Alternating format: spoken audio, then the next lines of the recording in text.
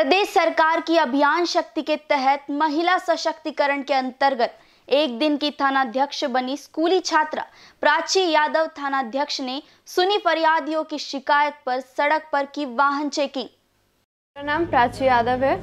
मैं अभी शिकोबत थाने में बैठी हुई हूँ और एक थाना अध्यक्ष के रूप में एस एच शिकोबत के रूप में मैं यहाँ पे बैठी हुई हूँ। एक दिन के लिए मुझे मौका मिला है। मुझे बहुत खुशी हो रही है यहाँ बैठकर। ऐसा मौका बहुत ही कम लोगों को मिलता है और ये एक बहुत अच्छा मुद्दा भी है अभी हमारे यहाँ पर महिला सशक्तिकरण का। मुझे बहुत अच्छा लग रहा है। मैं तो बस अपने स्कूल से घर जा रही थी तो रास्ते में मुझे एस एच ओ सर मिले और ऐसा ही लोग मिले मतलब अंकल वगैरह, इन लोगों ने मुझे बोला।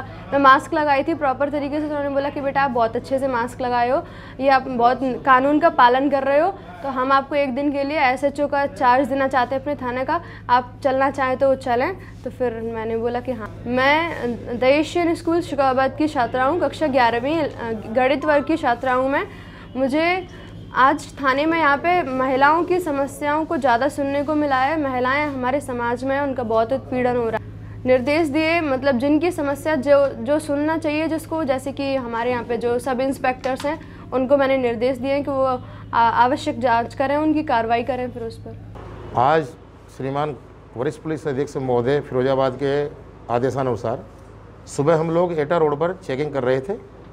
तभी हमको एक लड़की मास्क लगाए हुए, आती नज़र आई और हम जब मास्क के लिए कह रहे थे तो उसने भी हम लोगों, उन महिलाओं से कहा कि आपको मास्क लगाना चाहिए, कानून का पालन करना चाहिए। हमको बहुत अच्छा लगा।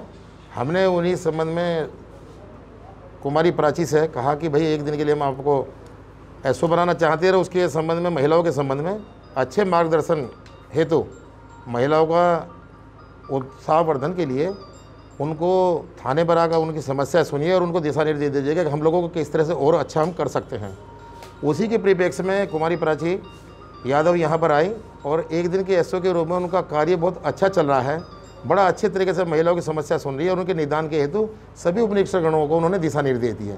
उनके आदेशानुसार आज चार, जो चार प्रार्थना, पाँच प्रार्थना महिलाओं के आए हैं, उन पर उचित कार्रवाई हेतु इनसे लिखवाए इन्होंने लिखा है और वो निस्तारण के लिए इलाके में चले गए हैं। मुझे बहुत अच्छा लगा कि प्राची देसाई महिलाओं का मार्गदर्शन करने में अपने आप को बहुत अच्छा महसूस कर रही है और उनको बहुत अच्छा भविष्य के लिए एक वक्ता और एक मार्गदर्शक के रूप में देखा जा सकता है।